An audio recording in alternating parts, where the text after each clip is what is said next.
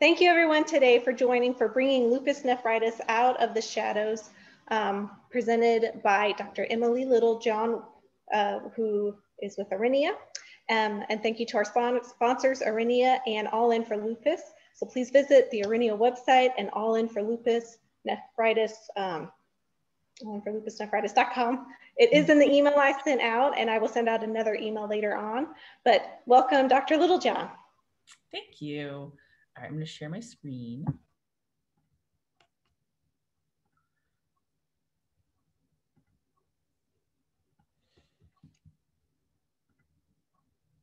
All set? Can you see everything here that I'm seeing?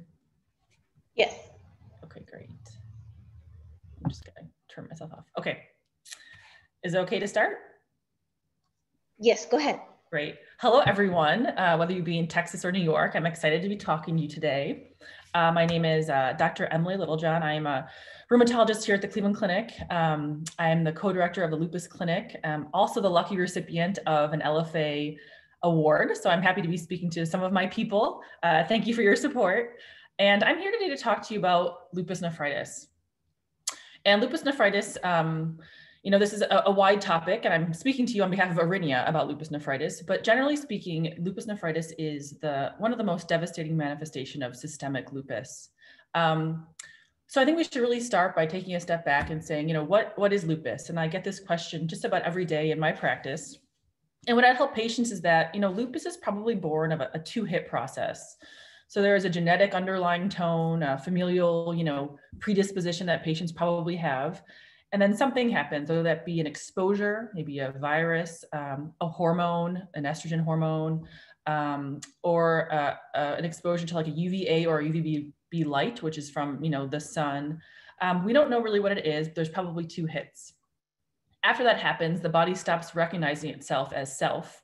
Um, and, essentially attacks itself um, in different areas. So, you know, when it attacks itself in the joints, we see patients come in with joint pain and joint stiffness and joint swelling. Uh, when it attacks itself on the skin, patients get uh, lupus on the skin, can happen in the heart and the lungs. And specifically in this case, when lupus attacks itself in the kidney, it's called lupus nephritis.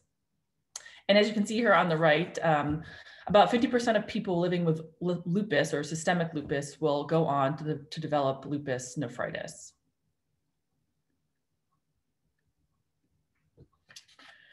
So lupus nephritis uh, is a common complication of lupus, as I mentioned. Um, and like I said, it's really when the body is attacking itself locally at the kidneys, and this causes inflammation and permanent damage. The kidneys then can stop functioning normally. Uh, and what the kidneys do in the body is very important. They remove waste from the blood, they regulate the blood pressure, and they can regulate a lot of other hormones. So when the, there's local inflammation in the kidneys and the kidneys shut down, um, this is a very uh, dangerous state of being. So who's affected by lupus nephritis? And let me just mention that every picture uh, in this PowerPoint, uh, these are all photos of real people living with lupus nephritis.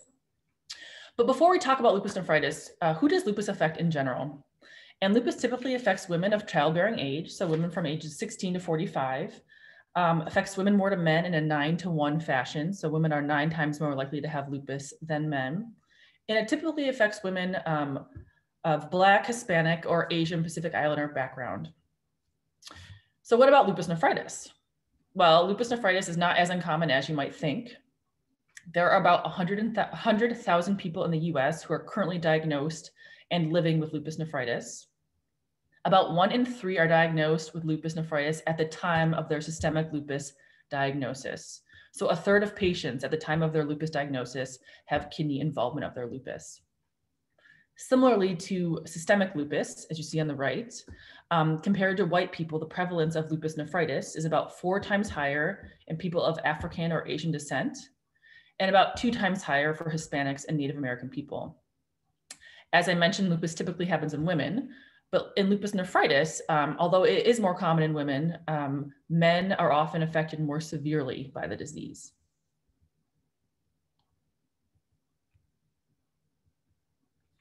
So what are some signs and symptoms of lupus nephritis? Well, you know, what I tell my patients is if they ever have a question, if they're concerned that any symptom or any feeling that they're having is uh, a reflection of lupus nephritis, to just let me know. I typically see patients every three to six months who have active disease. So in general, if there is a question of a sign or symptom that you are unsure of, um, always ask your physician. But generally speaking, this is what we tell patients. Big potential symptoms of lupus nephritis include swelling, usually in the lower extremities, so the feet, uh, the legs, or the ankles. Weight gain, and this is typically from uh, the fluid accumulation. Increased urination, especially at night. Uh, patients say that they're waking up uh, multiple times in the middle of the night to use the restroom. And foamy, bubbly, or frothy urine. And patients will describe this sort of like beer. They say their, their urine is bubbly and frothy and kind of looks like a, a, a beer. Um, so the question is, why does this happen? Well, really what's happening in lupus nephritis is because there's so much inflammation in the kidney, there's leakage of protein into the urine, which is called proteinuria. Oops. There's leakage of blood into the urine. That's called hematuria. That's why it has a little bit of a pink tinged color. We can see abnormal electrolyte levels in the blood. So patients, you know, their typical blood work, their basic blood work is a little bit abnormal. And in the blood work, we can see a decrease in their their kidney functioning, which is called the glomerular filtration rate or the GFR. Um, another marker for kidney function is the creatinine, which is typically elevated in patients who have lupus nephritis. As I mentioned, the kidneys regulate blood pressure. So when there's issues with the kidneys, the blood pressure will be out of control. It can be very, very high or unregulated. And lastly, sometimes we can see on ultrasound or some images of the kidneys that they're a little bit smaller or shrunken or scarred.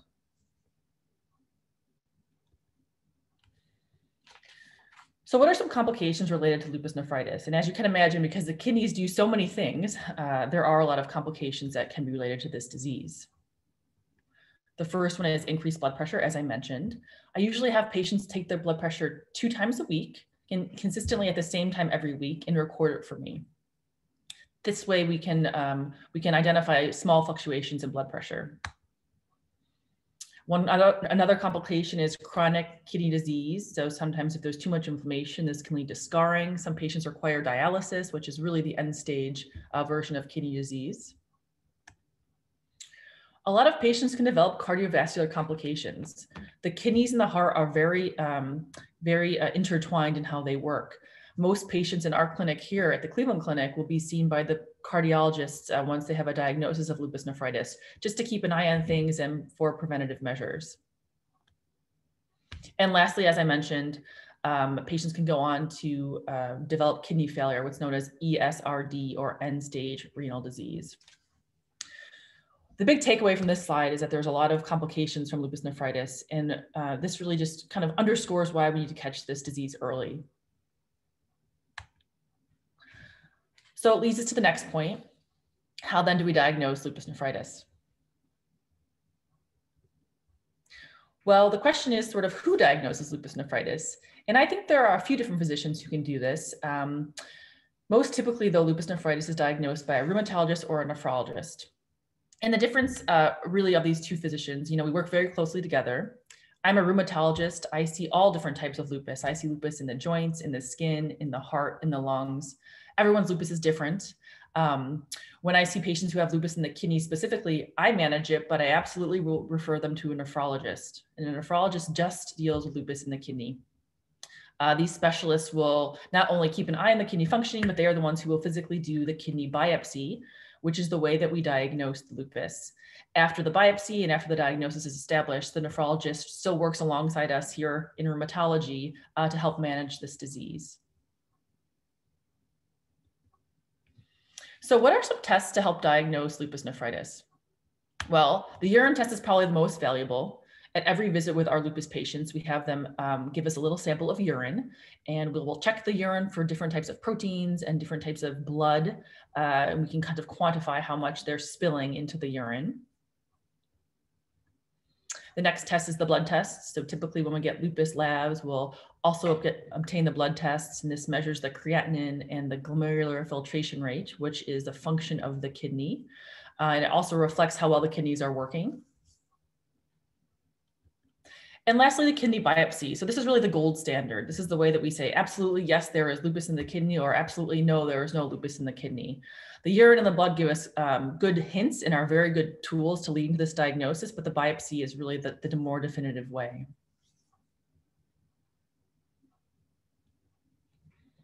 So let's talk now about specifically the diagnosis uh, based on the kidney biopsy.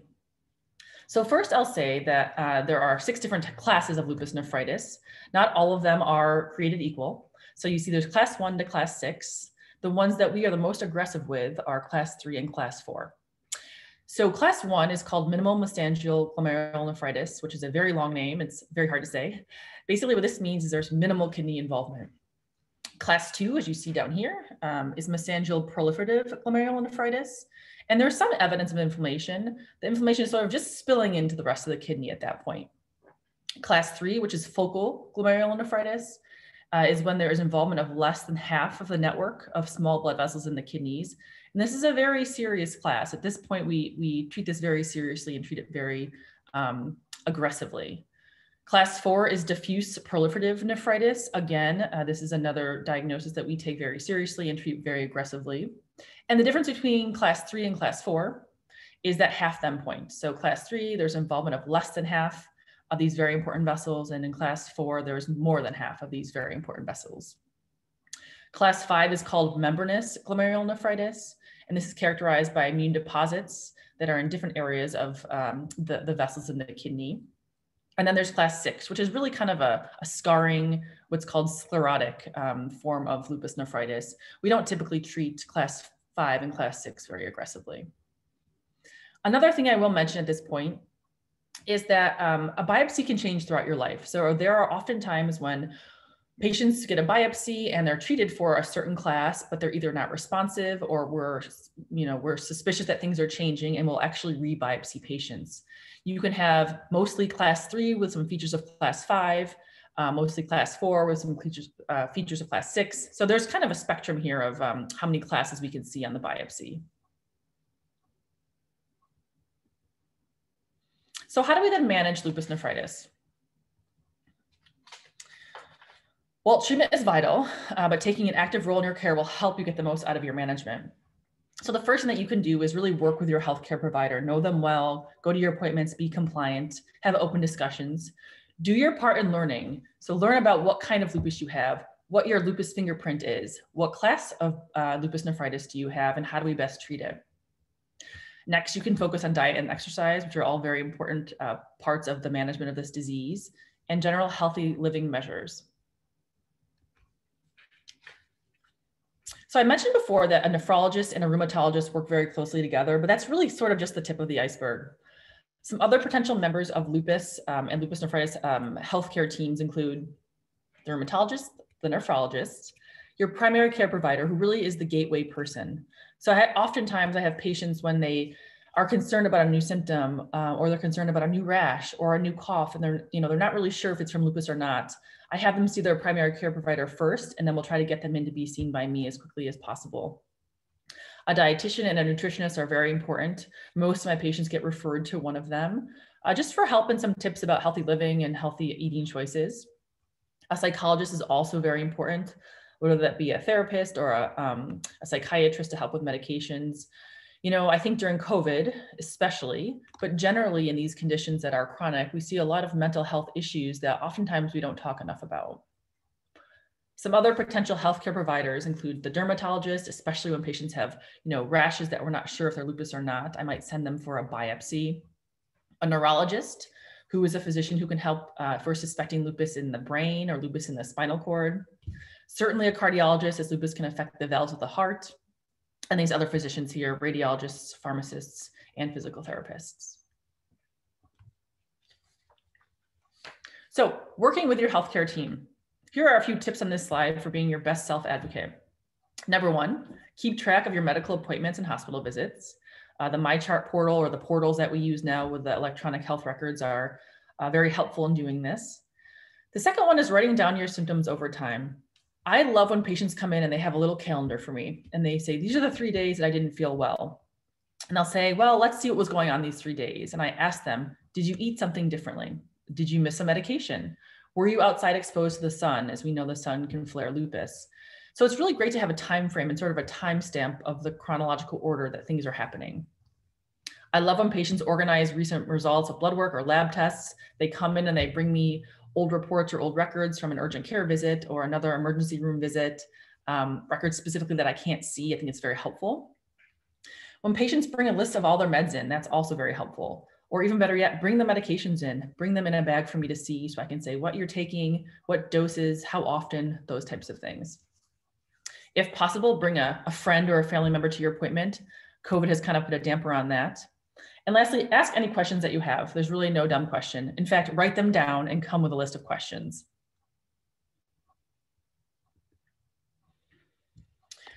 a few telemedicine tips in the time of COVID. Um, this remote, this remote uh, visit uh, telemedicine is becoming hot and probably won't be going away anytime soon. So like I mentioned, have questions ready for me. Uh, are you a physician? You know, write them down. And again, there is no question that's that's too small. Ensure that you have reliable internet connection. That's also very important. You know, time is time is precious. So those 30 minutes or those 15 minutes of an appointment, you want to get the most out of them use the chat feature. So, you know, if, if I have a poor connection or the patient can't hear me, I can always just chat them and say, I'm going to give you a call at this number or call the office and we can reschedule. Wearing the right clothing is very important as well, especially as a rheumatologist when we like to see the different areas where, where there's a rash or there's new swelling or there's an oral ulcer or there's, you know, new hair loss or a patchy hair loss. Um, it's really important for me to be able to see that as, as well as I can virtually. Uh, and lastly, as I mentioned, um, if you can check your vitals ahead of time. So typically patients who have lupus nephritis, we ask them to keep it, keep track of their blood pressures.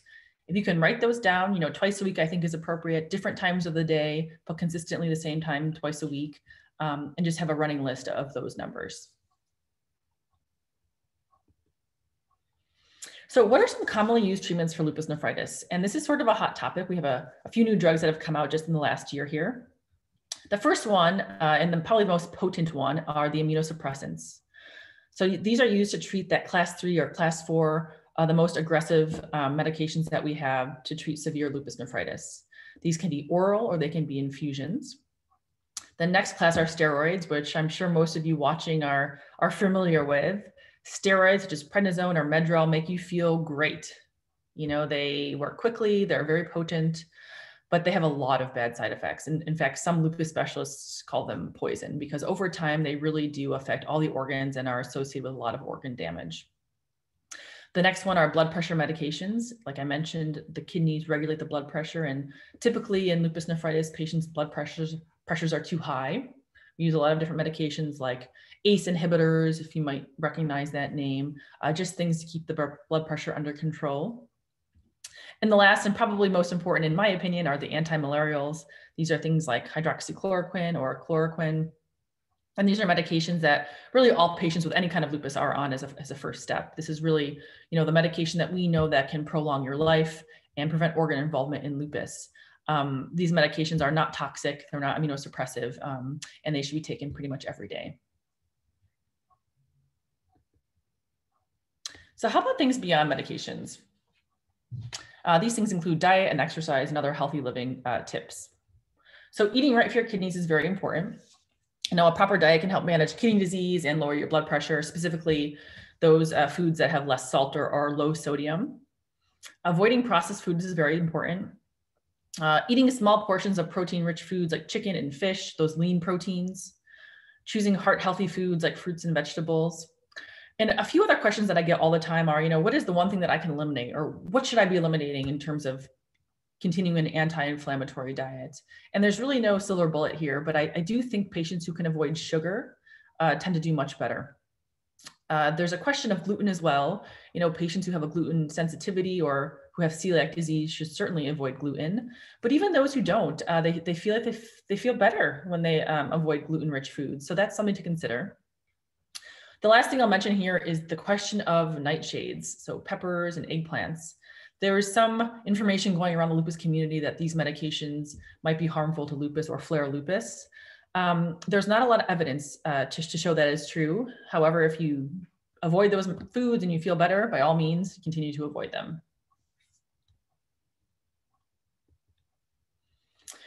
And as always, exercise is always better. So consider adding exercise to your routine. Um, exercise can enhance both uh, physical and mental health.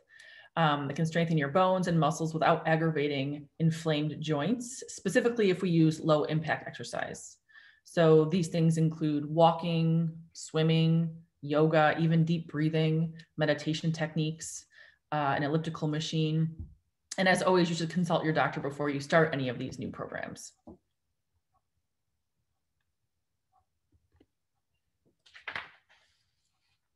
And as I mentioned, you really are your own best advocate. So we need to be engaged and stay informed at every step of the way. Um, you know, I would advise everyone here to learn about lupus nephritis, learn about your lupus fingerprint, you know, how your lupus was diagnosed, uh, learn about what features of lupus that you, you specifically have and how you can best manage those features. Like I mentioned, it's very important to understand your risk. Uh, those who have lupus, 50% of them will go on to have lupus nephritis or lupus in the kidney. And know what to look for. So know exactly what your lupus flares feel like. So some patients come in and they know exactly when their lupus is flaring. They have the exact symptoms that they've had for the past 15 years when they've had lupus flares. And that's important for, me to know that because I can believe them. You know, I, I can say, okay, your lupus is flaring. That's this is your this is how your lupus is manifesting we then can go on and, and, make a treatment plan together. Uh, discuss your options. So again, there's really no one size fits all treatment. Everyone's lupus is different and everyone's lupus treatment is different. Some medications work better for one person that won't work for another. Uh, and this is also true for lupus nephritis treatments. Continue to learn. So engage this all in and lupus nephritis community uh, nationally and locally at your level um, inform your friends and your family. And I would really urge them to all be in, involved in your lupus journey. Some other resources that are, I think, are really great. Um, so that you can feel informed and, and, supported and involved. You can visit this All In website that you can see here.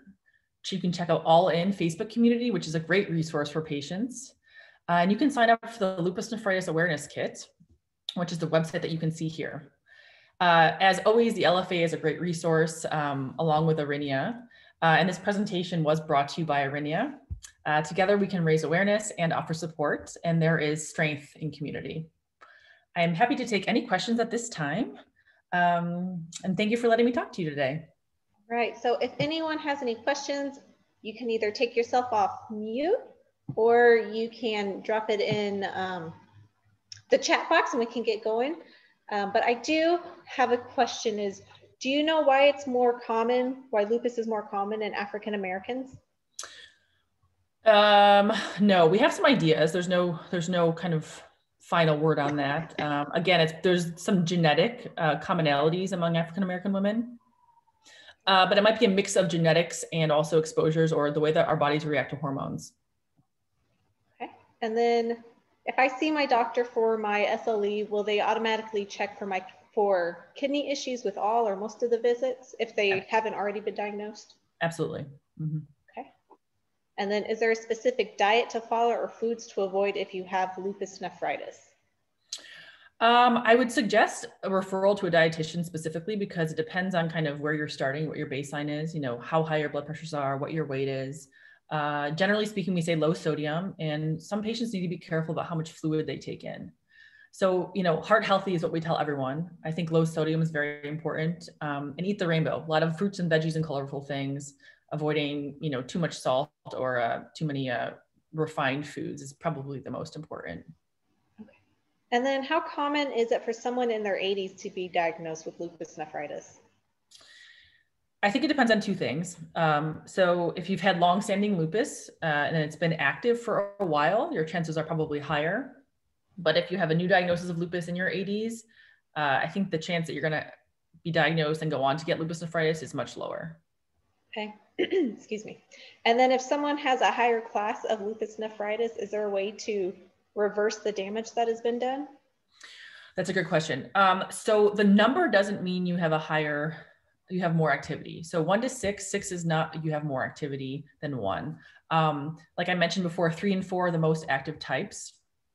Uh, and really you can, I think you can preserve what you have and the goal is to reverse. So if you can catch it early and you can be aggressive with the, the treatment plan, then you can, you know, probably do a good job reversing. If it goes too long and there's too much scarring or too much damage, then unfortunately it can't be reversed.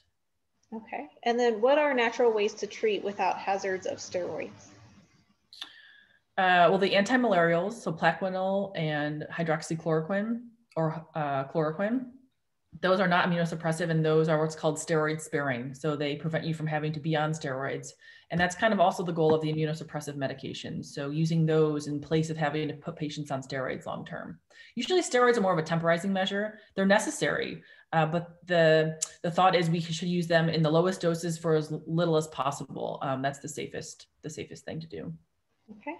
And then I know that you said a biopsy is the way that lupus nephritis is diagnosed, but is there a range of the results from the urine test that may give an indication that lupus nephritis may be de developing?